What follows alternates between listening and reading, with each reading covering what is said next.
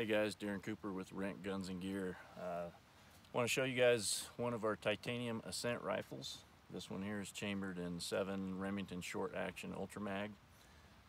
They're shoot, we're shooting uh, 175 grain ELDX in this particular rifle. Shooting really well. They're running about 29-20 for velocity.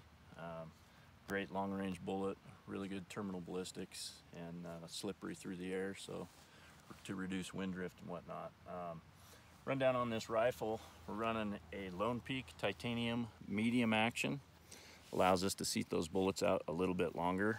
Um, we're mating that to a proof carbon research barrel. This is a Sendero profile.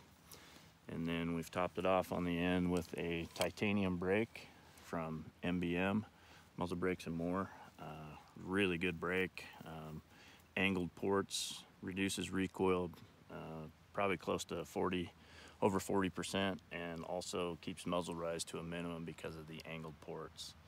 Uh, we're topping it off with a Razor LH scope.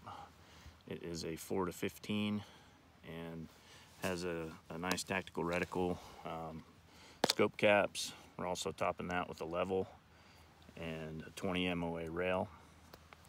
Uh, you can see we've got this sitting on the Really Right Stuff tripod right now. Um, all of our rifles will come with the Arca uh, tripod mount included. Goes right on here, locks in. Uh, if you happen to have one of these tripods or you want to rent one from us, a great option for uh, shooting in really steep country or anytime you've got sagebrush or obstructions like this. It's a good, really good stable uh, platform for you to shoot off of. We're also running um, these slings They've got flush cups on them, so they mount, dismount real easy.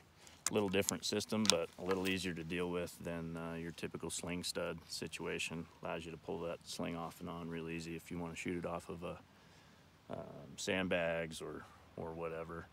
Um, if I'm shooting off this tripod, a lot of times I'll pull the rear one and then you can use that, wrap it around this tripod and kind of create a little bit of extra tension on this rifle and take out a little bit of wiggle when you're shooting off the tripod. we're also running a carbon bipod on here from Caldwell. This is the uh, long version. There's also a medium and a short.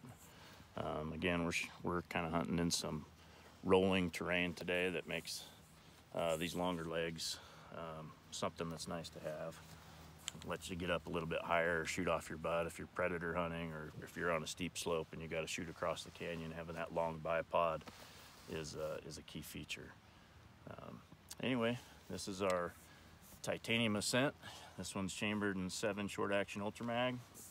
Uh, I didn't mention the stock. This is a carbon fiber stock, long range hunting stock. We also have some with an adjustable cheek piece that you can raise and lower to uh, get a really good cheek weld. Um, we're running a low ring, so even our standard stocks seem to work really well as far as a cheek weld for everybody um, that's tried them. So uh, either direction, I like having that little bit of adjustability if you're kind of finicky and you got to have it exactly right. It's nice to have.